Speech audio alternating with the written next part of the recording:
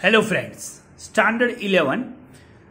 We are talking about the cash book and its types जिसमें हमने आगे simple cash book देखी थी।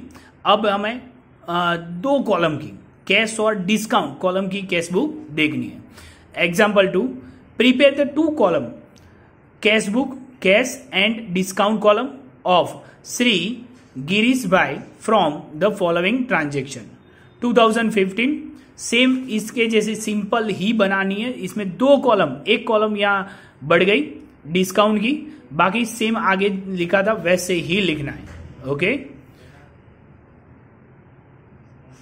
then opening cash balance at eight thousand discount की कोई कैश बैलेंस नहीं होता है तो यहाँ सिर्फ़ ओपनिंग कैश बैलेंस लिख देनी है debit side goods of the six thousand purchase at the ten percent trade discount trade discount की टैक्स बुक उसमें बुक में कोई एंट्री नहीं करते, सिर्फ़ माइनस करना है। यहाँ कैश डिस्काउंट होगा तो ही उसकी एंट्री लिखेंगे, ओके? तो यहाँ सिक्स थाउज़ेंड में से टेन परसेंट माइनस कर दे तो सिक्स हंड्रेड माइनस होगा, five thousand four hundred purchase किया हुआ है, यानी पेमेंट में लिखेंगे। तो यहाँ देखो, payment side four number, five thousand four hundred. क्या था? Six thousand minus ten percentage, okay? Seven number of the three thousand sold to Praveen for cash at five percent cash discount तो यहाँ देखो प्रवीण को हमने सोल्ड किया हुआ है। प्रवीण को हमने सोल्ड किया हुआ है। सोल्ड करते हैं तो पैसे मिलेंगे। यहाँ कैश डिस्काउंट है तो उसकी टेक्स्ट बुक में एंट्री करेंगे। तो यहाँ देखो थ्री थाउज़ेंड का फाइव परसेंटेज करेंगे। तो क्या आएगा? वन फिफ्टी और उसे थ्री थाउज़ेंड में से फाइव परसेंट वन माइनस करेंगे तो two thousand two thousand eight hundred fifty आएगा। सोल्ड किया है, यानी पैसे मिल रहे हैं तो रिसिप्ट में एंट्री लिखेंगे। Ten number goods of the four thousand sold for the cash at a ten percent trade discount and five percent cash discount यहाँ हमें फोर थाउज़ेंड में से सोल्ड किया है, यानी रिसिप्ट हम में लिखेंगे। पर यहाँ याद रखना है कि फोर थाउज़ेंड में से टेन परसेंट माइनस करेंगे तो क्या आएगा? थर्टी सिक्स हंड्रेड और उसमें से ten percent five percent cash discount लिखना है यानी वन एटी आएगा। ओके? तो ये वन एटी पहले four thousand minus ten percent trade discount यानी थ्री सिक्स डबल ज़ीरो और उसके बाद आ, हमें फाइव परसेंट कैश डिस्काउंट गिनना है। तो ये थर्टी सिक्स हंड्रेड में से भी वन एटी माइनस कर दे तो थ्री फोर टू ज़ीरो आएगा। Okay? Twelve number furniture of the five hundred is purchase from the Gopal furniture mart Gopal furniture mart से हमने फर्नीचर परचेज किया है। यहाँ देखो कैश के ऐसा कुछ लिखा नहीं है, यानी क्रेडिट है। क्रेडिट है तो यहाँ टेक्स्ट बुक में, ये कैश बुक में उसकी एंट्री नहीं होगी। ये जनरल में लिखेंगे, यहाँ कोई एंट्री होगी नहीं। बराबर? Fifteen number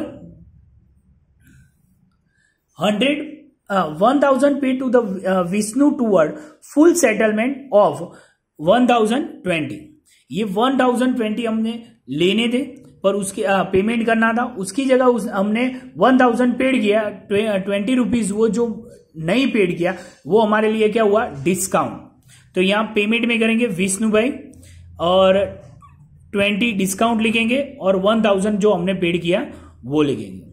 Sixteen number nine hundred paid for commission commission का पेड किया यानी पेमेंट में एंट्री लिखेंगे commission account nine hundred fifteen hundred receive from Kamlesh toward full settlement of fifteen hundred sixteen यहाँ देखो, ये हमें कमलेश के पास से लेने कितने रिसीव लिखा है, यानी लेने थे कितने? फिफ्टीन हंड्रेड सिक्सटीन बराबर? तो उसने सिर्फ़ फिफ्टीन हंड्रेड दिया, यानी सिक्सटीन जो रुपीस थे सिक्सटी रुपीस तो वो हमारा क्या हुआ? डिस्काउंट हुआ।